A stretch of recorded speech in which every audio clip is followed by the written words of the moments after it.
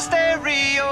It beats for you, so listen close. Hear my thoughts